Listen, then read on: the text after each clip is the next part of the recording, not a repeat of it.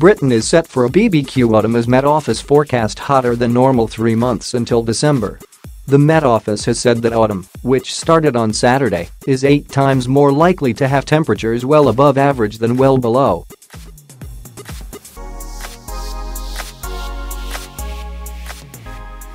Emergency services, high street bosses and councils have been briefed by the Met Office in preparation for the Indian summer.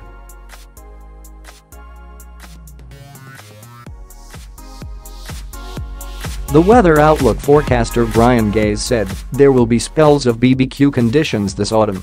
Computer models show temperatures could reach the low 30s, around 32 C, in September.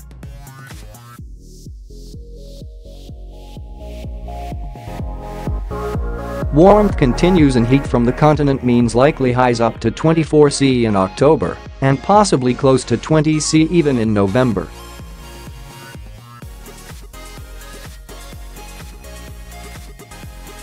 MeteoGroup forecaster Peter McAward said, the next couple of weeks look like highs in the low to mid-20s, with a higher chance of 27-29 C from mid-month, when tropical air may arrive.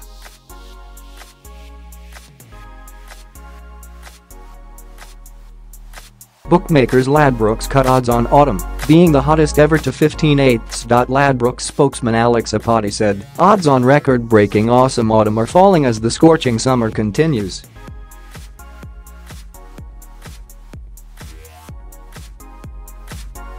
The Met Office autumn forecast said, for September-November, above average temperatures are more likely than below average.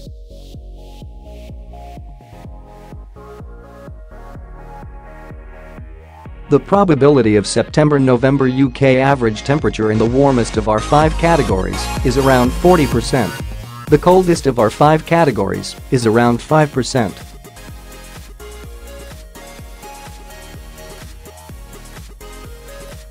There is a moderately increased chance of high pressure near the UK.